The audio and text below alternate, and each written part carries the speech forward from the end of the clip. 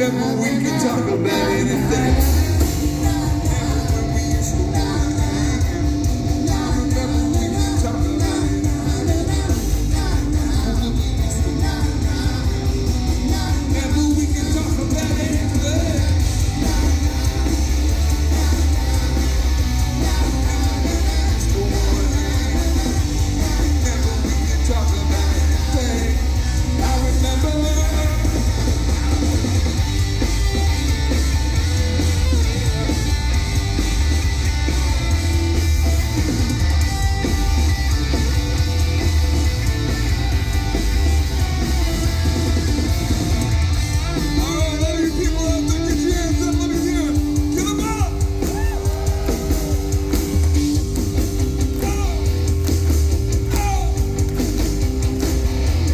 talk about the future.